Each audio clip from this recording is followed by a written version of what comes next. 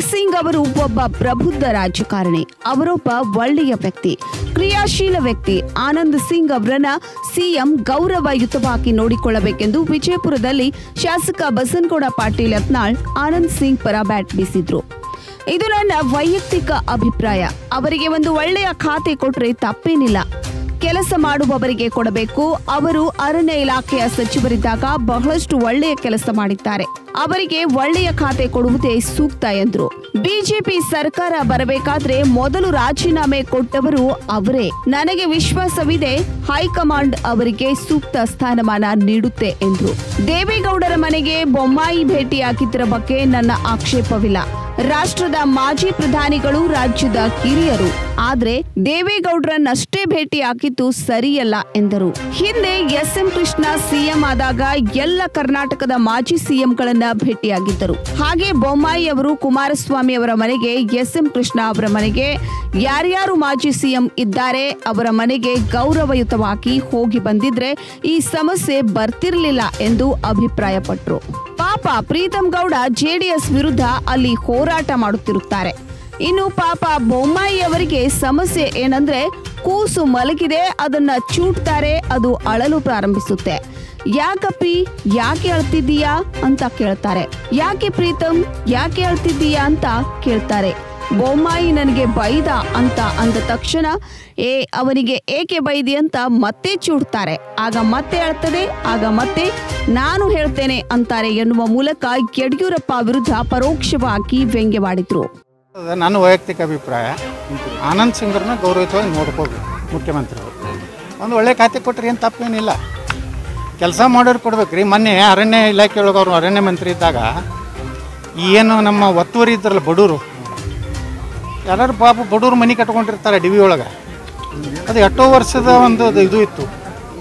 ಅದಕ್ಕೆ ವಿಧಾನಸಭೆಯಲ್ಲಿ ಅವರು ಗಟ್ಟಿಯಾಗಿ ಹೇಳಿದ್ರು, ಇಲ್ಲ ಯಾರು ಬಡವ್ರು ಅದಾರ, ಆ ಅಷ್ಟು ಅರಣ್ಯ ಇಲಾಖೆಯಿಂದ ಅವ್ರಿಗೆ ಸಕ್ಕರೆ ಮಾಡಿಕೊಡ್ತೀನಿ ಅಂತೇಳಿ ಇದು ಯಾರ ಕೈಯಾಗೂ ಆಗಿದ್ದಿಲ್ಲ, ಅದು ಆನಂದ್ ಸಿಂಗ್ ಮಾಡಿದ್ದು.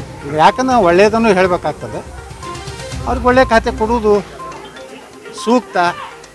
ಮತ್ತು ಬಿ ಜೆ ಪಿ ಸರ್ಕಾರ ಬರಲಿಕ್ಕೆ ಮೊದಲ ರಾಜೀನಾಮೆ ಕೊಟ್ಟರೆ ಆನಂದ್ ಸಿಂಗ್.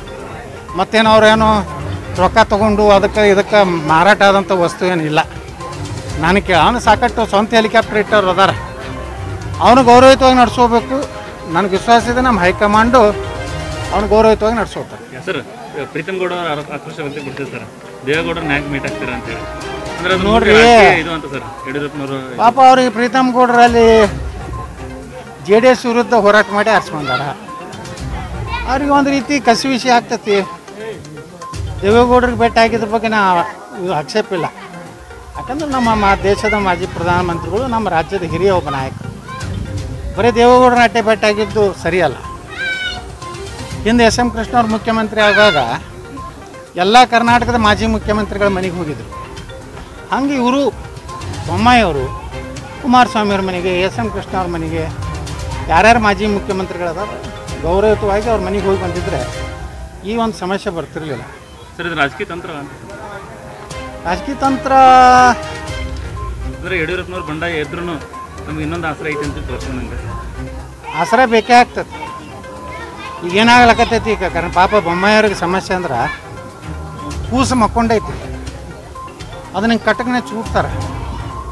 ಅಳಕ್ಕೆ ಚಲೋ ಮಾಡ್ತಾರೆ ಯಾಕಪ್ಪಿ ಯಾಕೆ ಆನಂದು ಯಾಕೆ ರೇಣುಕು ಯಾಕೆ ಅಳಕೈತಿ ಅಪ್ಪಿ ಅಂತ ಕೇಳ್ತಾರೆ. ಯಾಕೆ ಏನ್ರಿ ಯಾಕೋ ಪ್ರೀತಮು ಯಾಕೆ ಅಂತ ಬೊಮ್ಮಾಯಿ ನನಗೆ ಬೈದ ಏಯ್ ಅವ್ನಿಗೆ ಯಾಕೆ ಬೈದ ಅಂತ ಮತ್ತೆ ಬಿಡ್ತಾರೆ ಮಾತಾಡತ್ತೆ ನಾ ಹೇಳ್ತೀನಿ ಹೇಳಪ್ಪ ಅಂತ ಮತ್ತೆ ತೊಟ್ಲ ತುತ್ತ ಸರ್ ಏನೋ ಏನೋ ವೀಕ್ಷಕರೇ ನಮ್ಮ ಸತ್ಯಂ ವಾಹಿನಿಯ ಪ್ರತಿದಿನದ ಅಪ್ಡೇಟ್ ಮಾಹಿತಿಯನ್ನ ತಿಳಿದುಕೊಳ್ಳಲು ಸತ್ಯಂ ಟಿವಿ ಕನ್ನಡ ಯೂಟ್ಯೂಬ್ಗೆ ಸಬ್ಸ್ಕ್ರೈಬ್ ಹಾಕಿ ಹಾಗೂ ಬೆಲ್ ಐಕಾನ್ ಅನ್ನು ಕ್ಲಿಕ್ ಮಾಡಿ.